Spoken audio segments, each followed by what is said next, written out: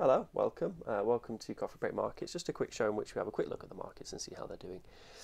Uh, so Bitcoin um, is up 0.39%, so just about, um, with a high of 6,344 and a low of 6,200. Uh, if we have a little look at the, the six monthly, um, there we go. Uh, looking pretty, pretty, pretty damn bullish, I'd say. Um, it's always hard to admit that it's bullish, um, but if you imagine this uh, chart upside down, then it would look scarily bearish. So I, I, I think I think we're in a pretty good place. Um, we managed to break through that that six thousand dollar resistance zone without any any real effort, um, with all the Binance uh, news going on as well. So that was that was pretty impressive. Uh, so we've got in our little news feed thing here. Uh, how traceable is Bitcoin? Blah blah blah. Um, well, this is why we need. Well, I think we need confidential transactions. Um, Facebook reviews crypto ad regulations, good or bad. Well, that makes sense if they're going to be shilling their own coin. Bitcoin SV, bleh. Uh, why billionaire investor expects Bitcoin to struggle despite hitting 2019 high. I'm sure that there'll be, you know, someone on the other side of that argument who's also a billionaire. Um, yeah, not much going on really. I mean, there's still people people are still talking about the Binance stuff. Uh, uh, I was amazed at how little of an effect it had on the markets. It almost felt like because things were good and because it was bullish that you know the Binance story with the um, the, the, the concept that, that they could maybe reorg the uh, Bitcoin blockchain, which is a complete load of nonsense. Um, I, I, w- I was sure that it was going to kind of reverse the price and, and bring the price, drag the price down, but it, it seems to be holding out okay.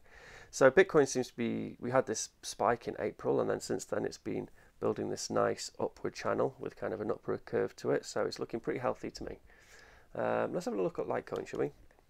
So here's Litecoin on the six month. Litecoin's got a nice, uh, was that an ascending triangle? I'd say. I think that's an ascending triangle, isn't it? It's kind of hit the bottom um, of this uh, of its uh, little channel line it's been working on here. If it breaks down through that, it might be in trouble, but I imagine it'll bounce off and, and will probably go up as well. Um, how about Monero? How's Monero doing? Monero is looking a lot like Bitcoin actually. Let's have a little comparison on, on Monero and Bitcoin. Let me zoom out of um, zoom out on the Bitcoin chart. Yeah, no, Bitcoin's looking a lot more plucky, isn't it? There's Monero, and there's Bitcoin. Monero, Bitcoin. Yeah, Bitcoin very much feels like it's. I mean, obviously they there is some correlation there, but um, you know, you'd be a fool not to admit that but it, it very much looks like Bitcoin's um, pulling itself out of that ditch it dug itself into, whereas Monero seems to be flat. I imagine um, uh, Fluffy Pony will do some uh, shilling, and uh, I imagine he's got some updates on the Enterprise Alliance, so I'm sure that might pick the price up a little bit. We'll see how that goes. Ethereum, how are we doing? Ethereum's looking. Is this a six monthly? Well, that's boring, isn't it? I mean, there is kind of a huge ascending triangle probably building there, which I'd say. Um, uh, and then I imagine there, there would be some breakout there. Um, let's zoom out a bit. See how it's uh, see how Ethereum is. Yeah, Ethereum is the same sort of story as Monero, isn't it? Look at that, sort of flat. This is, hasn't got really doesn't really want to make much of an effort. What it needs is it needs Bitcoin to to storm on ahead and go bullish, and then you know a couple of months after that or a month after that, um, all those all that new blood into Bitcoin will think, oh, there's these other coins, maybe I'll buy some of those as well, and then that'll pick their price up.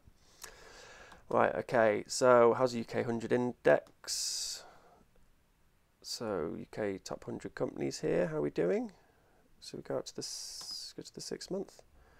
Oh, it's dipped quite a lot there. Um, yeah, it's not looking too healthy, is it? Uh, although in saying that, I mean there is a kind of general upward trend, but it looks like it's kind of broken through a resistance level there. Why is that then? Uh, London investors skittish after Trump triad, tirade, tirade even. Help, help if I could read, wouldn't it? Um, markets were lower Thursday after US President commented negatively on trade negotiations with China. All right, okay, yeah. So we, we need more capital to, to, to be able to invest in, and um, if the US breaks down trade agreements with China, then it's hard for um, for markets to continue to, to, to rise as they, as they have been. So yeah, we'll see how that goes. Trump is an idiot, isn't he? Um, so yeah, more more Trump China uh, news there in the news feeds. That that seems to be a pretty big deal. Um, that's probably why it's um, broken through that resistance line. So if he can sort his act out and if he sees the, the effect he's having on the on the markets, then I imagine he'll he could reverse that. Um, it's a lot of power for one dude. Um, right, so how are we how are we looking if we have a nice zoom out here? Wow, okay. So is that kind of like an inverse head and shoulder thing going on there? Maybe. Um, yeah, they're you know they're bouncing along. They're bouncing along. The UK's doing okay. Obviously, we've got the the Brexit stuff coming up, so we'll see how that affects the markets. Um, the S&P 500. S&P 500's got this nice uh, upward channel, although it is kind of curving out um, and looks like it may be due to break down. Uh, let's zoom out on that one. See how that's doing in the great scheme of things. Yeah, yeah. I mean, it, it you know, it's the there's been a few a few scares. A few. It's not the the, the markets are definitely more choppy than they they were. Um, uh, you know, uh, a couple of years ago. But um, obviously, then that's the the trump card, isn't it? So so yeah, it's sort of steadily rising, but it's had a bit of a, reversal and going uh, gone down quite a bit in the past uh over May. So we'll, we'll, see how that goes. Keep an eye on that. Um, light crude oil. How's light crude oil doing? It's pretty flat. Um, yeah, pretty flat. It's got an upward channel which is broken down out of, and now it looks to me like it's doing some consolidating into a um, into what's that like a um, a descending triangle? I'd say there's something of a descending triangle there, isn't there? Um, so I can imagine I can imagine this breaking down somewhat. Um, gold futures. Let's have a look at gold, shall we? Gold's yeah, gold's still getting hammered uh, in the great scheme of things. The past six months, it's been getting a bit of a leathering. Um, although, where are we? Okay, so over the past few years, it's just been just been choppy. There's, I'm sure there's money to be made, but it's hard money to make. Um, to me, that kind of looks like a, a downward channel, like it's uh, another descending triangle going on there. Um, so yeah, not looking too good for gold, I'm afraid. Everyone's flooding into Bitcoin, it seems. How's Bitcoin Reddit doing this morning or afternoon even? Let's have a little look, see what's going on here. So the top we've got Andrew Chow, partially signed uh, Bitcoin transactions, well worth a watch. Um, what if I told you 2018 was just a bear trap? That's good. Uh, so we got hacked. There's more stuff about the the Binance uh, fiasco. Um, I'm always bullish. Okay, so it's quite bullish. Everyone seems to be quite bullish on on on Reddit, um, and then they're all chatting about Binance and how it was such a ludicrous thing to say. Um, uh, yeah, I mean we broke 6k, so it makes sense that people people are feeling people are feeling bullish. There's a an art, a, a post here on Pieter Wuille um, unveiling his two um, uh, uh, bips, where he actually well, three bips, but I think he co-wrote one of the bips um, on Schnorr and, and Taproot. Should be uh, should totally have a look at if you if you get a chance.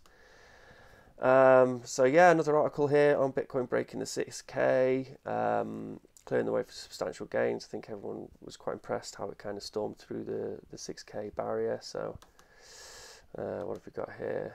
Bitcoin hit six months high. Yep. but will it hold 6k? It'll go up and it'll go down. Um, crypto community in shock over recent Bitcoin price resilience. Collective community bewildered by Bitcoin bullish momentum. Yeah, I am a little bit bewildered. Like I said with the, the Binance stuff, like that would have been enough to to bring uh, bring Bitcoin down onto its knees, um, even six months ago. So I, there's clearly a lot of uh, momentum in Bitcoin. Um, if you can just shrug off that that kind of news, you know. Belarus exchange to offer tokenized government bonds. That sounds pretty cool. So, um, uh, uh, so in Belarus, uh, the government's going to look at tokenizing government bonds. Um, I've been saying for a while that that's probably the answer to you know crisis measures. So if we had a, a sort of sound form of money like Bitcoin, um, which people were using, and the government had less power to use inflation to kind of get quick capital, they could do a bit for next, and they could they could uh, tokenize some sort of government bond, some sort of government debt, which the, the government could then use, float on a market, and then use to, um, you know, for, for funding for whatever cause. and then people could then speculate on that token. So I, I it's an interesting uh, field of research here. It'd be interesting to see how that how that works out for them. Hopefully they don't get um, they don't get hacked. Uh, so yeah, not bad. JP Morgan. JP Morgan's quietly rebooted the blockchain tech behind its JPM coin. Okay. Um, so why is that then? Uh, JP Morgan's technology team spread across the past six months. So I think uh, the the blockchain it was using. Um, what's the name of the? I do know because I've got another link up on it. Um, what's the name of it? It's, it's, it's like it's Go Ethereum, isn't it? It's a, a fork of Go Ethereum. Um, uh, Tessera, Quorum. That's it. Quorum. Quorum. Um, so that's uh, I've actually gone and got the um, uh, the GitHub up from JP Morgan, the Quorum GitHub up. So this is the the, the software they're using to try and build their um, JP Morgan coin, um, which we all like, you know, laugh at and you know sneer at, but I think it's pretty cool in a way because you know you've got JP Morgan Chase and um, they're you know investing in free and open source software. So we've got a nice, you know, they've got the GPLR license there, which is great. Um, it's got quite a few commits. Uh, there's a load of contributors on the project. It looks at uh, different consensus uh, mechanisms other than proof of work and um, uh, uh, uh, um, proof of proof of stake. I went blank there. Sorry. because obviously um, it doesn't need the same uh, security um, as as Bitcoin, and it doesn't need to be decentralized in the in the same way. So yeah, so it's it's, it's an interesting read going through the going through the GitHub. Um, I did say something. I had something which I wanted to, to have a quick look at. Maybe it's up here. Oh yeah, alternative consensus mechanisms. Uh, with no need for uh, proof of work or proof of stake in a permissioned network, Quorum instead offers multiple consensus mechanisms that are more appropriate for consortium chains.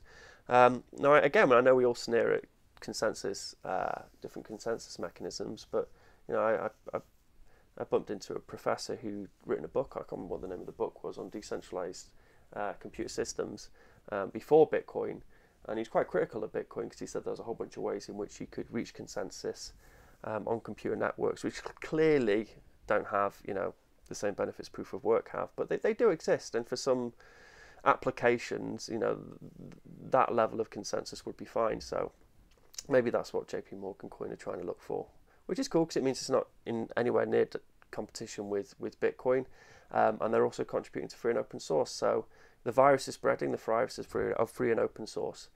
Um, so that's about it, really. Uh, um, I'm going to try and do these shows every day, just have a quick look at the markets, um, see how the Bitcoin price is doing, and then see how it compares with the other markets. So thanks for watching. Cheers. Bye bye.